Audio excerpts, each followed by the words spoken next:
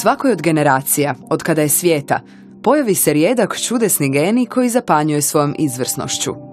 90. godina među strip crtačima bio je to Edvin Bijuković, majstor kista koji je zasjao u najsjajnijem svjetlu, a onda se iznenada zbog teške bolesti u svom zenitu ugasio.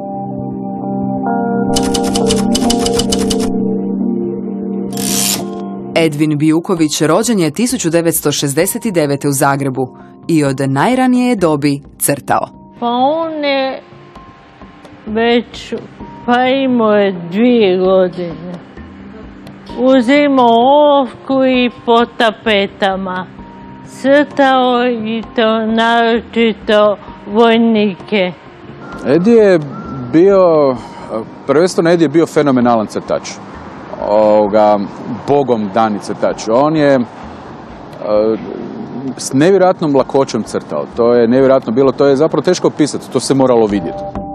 Što se Edija tiče, on je bio kao ono što bi rekli englezi prodigy. Ovaj, već kao, kad je počeo dolaziti kod mene? Imao je možda 17-18 godina.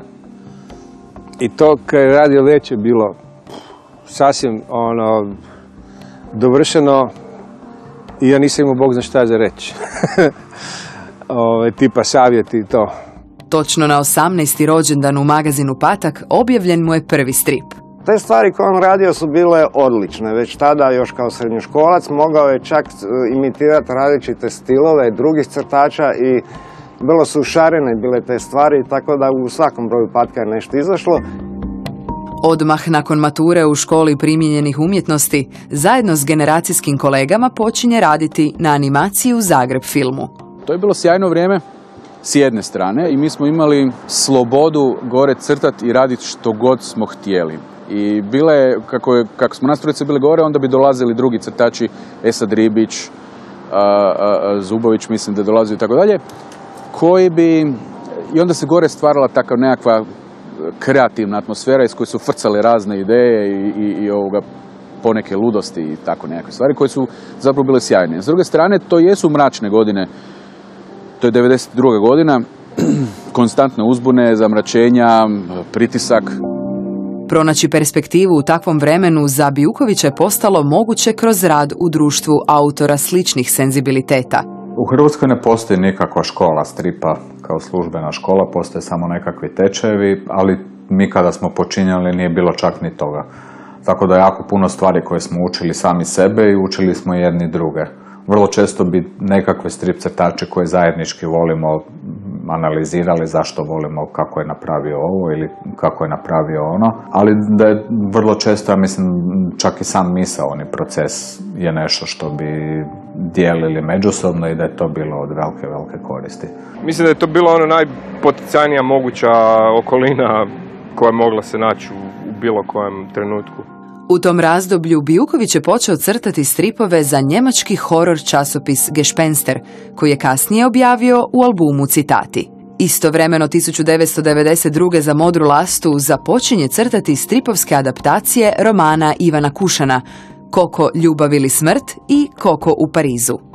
Kombinirajući realistični crtež s gegovima, naglasio je svu komičnost situacija u kojima su se zatekli Kušanovi likovi. Znači tu se treba paziti da, da koliko korespondira sa, sa svojom publikom, da ga ona može prepoznati kao nekoga ko, ko ovaj, e, koji može biti neko prijatelj iz razreda, iz susjedstva, ali isto tako da bude dovoljno zanimljiv i neobičan e, da, da, im bude, da, da ih zanima što će biti s njim i kako će on, e, što će biti na kraju, što će mu se dogoditi. Strip je vrlo bogat. Bogat je vizualno, a bogat je i tekstualno. Vizualno čini mi se još bogatiji. A mi smo bili zadivljeni količinom detalja u scenografiju, kostimografiju, u rekvizitoriju. Što je sve prikazao na tim tablama naš Edi. Upravo tada dogodio se veliki odskok u Bijukovićevoj karijeri. Matt Wagner, autor Grendel Talesa, američkog serijala čiji su junaci smješteni u daleku i mračnu budućnost, pružio je kroz javni natječaj mogućnost novim nadama da se okušaju u pisanju i crtanju novih epizoda. Koristeći zadani okvir, Bijuković je u suradnji s Darkom Macanom kreirao distopijsku viziju Zagreba kojim vlada bešćudni Agram klan. Strip mladih autora, inspiriran tek proživljenim ratom, osvojio je ne samo uredništvo Dark Horse komiksa, nego je Bijuković u Americi donio i prestižnu nagradu Russ Manning. Nikad poslije nije bilo tako dobro kao tada. Tako da taj početak je zapravo i kraj nečega, znaš, ono, to je kraj, to je kraj amaterizma i početak profesionalizma. Uspjeh na američkom tržištu za Bijukovića i ostale generacijske kolege bio je više od potvrde autorske kvalitete. Ovaj proboj naznačio je da će, unatoč raspadu regionalnog tržišta stripa, i oni imati priliku ostvariti uspješnu karijeru strip crtača. Rad za Amerikance Ediju je značio e, samostalnost. E, da može kupiti svoj stan, da može urediti studio, da može veliki stol kupiti na kojem sve može držati. To je bila ona mogućnost da se napokon bavi stripom, pravim stripom. Veliki uspjeh Grendela doveo je ubrzo do angažmana u američkom strip serijalu Star Wars. I ovdje je do izražaja došao Bijukovićev talent za režiju, kojim je izvrsno zahvatio neverbalnu komunikaciju među likovima. E, geste u njegovom crtežu mislim da više dolaze iz života, iz, iz, nje, iz toga kako bi on to odglumio. Imate, u njegovom realizmu ima te karikature, e, e, pretjerivanja, koliko god da je on kroz život bježao od karikature, u smislu pokušavao što realističnije crtati anatomiju i prostore i ostalo, ostaje, ostaje taj humor ispod svega, ostaje, ostaje ta e, malo groteske, malo, ne znam, karikature baš u, u svakoj, svakoj kretnji, u svakom izrazu lica. Mislim da je baš bio specifičan po tome što mu je način kadriranja, montaža, scenografija, gestikulacija likova, koreografija, borbi, pucnjave ili bilo kakve takve stvari. To je baš direktno ovoga crpio iz filmova i mislim da je to baš uspio jako dobro pretočiti.